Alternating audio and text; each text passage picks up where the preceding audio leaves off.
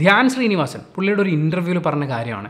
അതായത് ഈ തൊഴിലുറപ്പ് പദ്ധതിക്ക് രാവിലെ ജോലിക്ക് പോകുന്ന പോലെയാണ് പുള്ളി അഭിനയിക്കാൻ പോകുന്നതെന്ന്. രാവിലെ അങ്ങോട്ട് ചെല്ലുന്നു അവർ പറയുന്ന കാര്യം ചെയ്യുന്നു അത് കറക്റ്റ് സമയത്ത് ചെയ്യുന്നു കറക്റ്റ് സമയത്ത് ചെയ്തു തീർക്കുന്നു എന്ന രീതിയിൽ ചെയ്തുകൊണ്ടേ ഇരിക്കുകയാണ് യാന്ത്രികമായി ചെയ്യുന്ന ചെയ്യുന്നൊരു പ്രോസസ്സാണ് എന്നൊക്കെ പറഞ്ഞിട്ടുണ്ടായിരുന്നു. എനിക്ക് അതിനെ വളരെയധികം സാധൂകരിക്കുന്ന ഒരു സിനിമയായിട്ടാണ് ഖാലിപ്പേഴ്സ് എന്ന സിനിമ അനുഭവപ്പെട്ടത്. നമുക്ക് അതിനെക്കുറിച്ചാണ് സംസാരിക്കാനുള്ളത്. എറണാകുളത്ത് വനിത വിനിത തിയേറ്ററിലാണ് ഈ സിനിമ കാണുന്നത്. പോസിറ്റീവ്സ് എന്ന് ആരംഭിക്കാം. ഒന്നാമത്തെ പോസിറ്റീവായിട്ട് തോന്നിയത് ഇതിൽ റാഫി അദ്ദേഹം അഭിനയിച്ചിട്ടുള്ള ആ കഥാപാത്രത്തിന്റെ വളരെ കുറച്ച് സീനുകളേ ഉള്ളൂ. എന്ന് വെച്ചാൽ ഒരു മൂന്നോ നാലോ സീനുകൾ ഉണ്ടാവും പുള്ളിക്ക് ഈ സിനിമയിൽ പെർഫോം ചെയ്യാൻ വേണ്ടി. അതിൽ തന്നെ ഒരു രണ്ടിടങ്ങളിൽ പുള്ളിയുടെ കൗണ്ടറുകൾ എനിക്ക് വളരെയധികം ഇഷ്ടപ്പെട്ടു. ആ രണ്ട് കൗണ്ടറിനും ഞാൻ ശരിക്കും ചിരിച്ചുപോയി.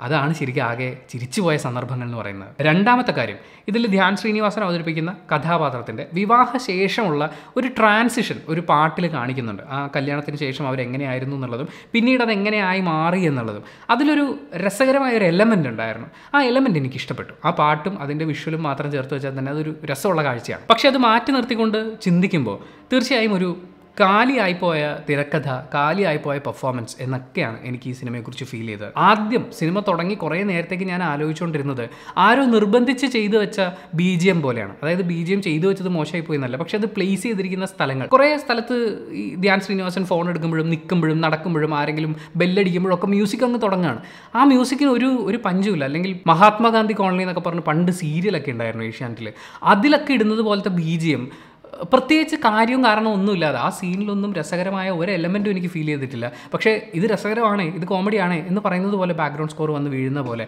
നിർബന്ധിച്ച് ഫോഴ്സ്ഫുള്ളി ഇട്ട പോലെ എനിക്ക് തോന്നി. അതുപോലെ തന്നെ ഇതിൽ ഇമോഷണൽ ആയിട്ടുള്ള കുറച്ച് കാര്യങ്ങൾ വരുന്നുണ്ട്. ദാസൻ വിജയൻ എന്ന് പറഞ്ഞ കഥാപാത്രങ്ങളായി നമ്മൾ സിനിമയിൽ കാണുന്നത് അജു വർഗീസിനെയും ധ്യാൻ ശ്രീനിവാസിനെയാണ്. അവർക്കിടയിൽ ഒരു ഒരു കെമിസ്ട്രി ഉണ്ട് എന്ന് മുമ്പ് പല സിനിമകളിലൂടെയും ഫീൽ ചെയ്തിട്ടുള്ളതാണ്. പക്ഷേ ഈ സിനിമയിലേക്ക് വരുമ്പോൾ അങ്ങനെയുള്ള കെമിസ്ട്രിയോ ഫിസിക്സോ ജോഗ്രഫിയോ ഒന്നും എനിക്ക് ഫീൽ ചെയ്തില്ല. ആൻഡ് ഇവരുടെ കഷ്ടപ്പാടുകളെ കുറിച്ചൊക്കെ പറയുന്നുണ്ട്.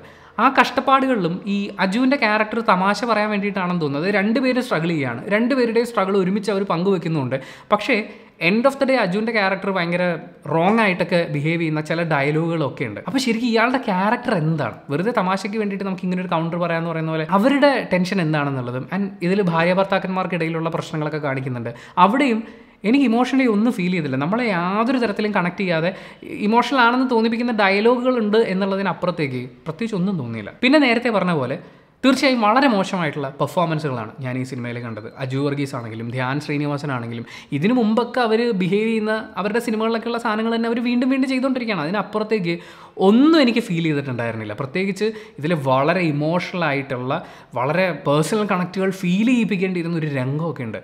അത് തല്ലിപ്പൊളിയാക്കി കളഞ്ഞു. അവിടെ നായികയായി വന്ന തൻവിയുടെ പ്രകടനവും വളരെ മോശമായിട്ടാണ് എനിക്ക് അനുഭവപ്പെട്ടത്. അത്രയും ഇമോഷണൽ ആയിട്ടുള്ള രംഗങ്ങളൊക്കെ അത്രയും സില്ലി ആയിട്ട് കൈകാര്യം ചെയ്തു എന്ന് എനിക്ക് ഫീൽ ചെയ്തു. ഇനി ഇതിന്റെ ടോട്ടൽ വിഷ്വൽ ഡിപ്പാർട്ട്മെന്റ് അതിന്റെ എഡിറ്റിങ്ങും ഫീലും എല്ലാം വെച്ചിട്ട് ഞാൻ പറയുകയാണെങ്കിലും വെബ് സീരീസോ ഷോർട്ട് ഫിലിമോ ചെയ്യുന്ന ആളുകൾ പോലും കുറച്ചും കൂടി ഉത്തരവാദിത്തത്തോടു കൂടി കുറച്ചും കൂടി രസമായിട്ട് അത് ചെയ്യുമായിരുന്നു എന്ന് എനിക്ക് തോന്നി. ഇതിന്റെ എല്ലാത്തിന്റെയും കൂടെ ഒട്ടും ഓർഗാനിക്കായി ഫീൽ ചെയ്യാത്ത കുത്തിക്കയറ്റിയ ചില പുരോഗമനങ്ങൾ ചില സ്ത്രീ ശാക്തീകരണ ഡയലോഗുകൾ സീനുകൾ ഒക്കെ വന്നതുപോലെയാണ് എനിക്കത് അനുഭവപ്പെട്ടത്. ഒരുപക്ഷെ ജെ ജെ ജെ ഹേലൊക്കെ കണ്ടിട്ടുള്ള ആ സാധനത്തിന്റെ വേറൊരു എലമെന്റാണ് പക്ഷേ അത് ഒട്ടും കൺവിൻസിങ് അല്ലാതെ ഓർഗാനിക് അല്ലാതെ വന്നുപോയി ഞാൻ ഈ പറഞ്ഞ എല്ലാ കാര്യങ്ങളും അതിന്റെ ഉത്തരവാദിത്തങ്ങളും ഒക്കെ സംവിധായകനിലേക്കാണ് വന്നു ചേരുന്നത്. ആൻഡ് എന്നിലെ പ്രേക്ഷകൻ തിയേറ്ററിൽ ഇരുന്ന് കണ്ടു തീർത്ത ഒരു പടം എന്ന് ഫീൽ ചെയ്ത സിനിമയാണ് കാലിപ്പേഴ്സ് പക്ഷെ എന്റെ അഭിപ്രായം ആയിരിക്കണം എന്നില്ല നിങ്ങളുടെ അഭിപ്രായം. സിനിമ തിയേറ്ററിൽ കണ്ട ആളാണെങ്കിൽ നിങ്ങളുടെ അഭിപ്രായങ്ങൾ വീഡിയോയുടെ താഴെ ഒരു കമന്റായിട്ട് രേഖപ്പെടുത്തുക.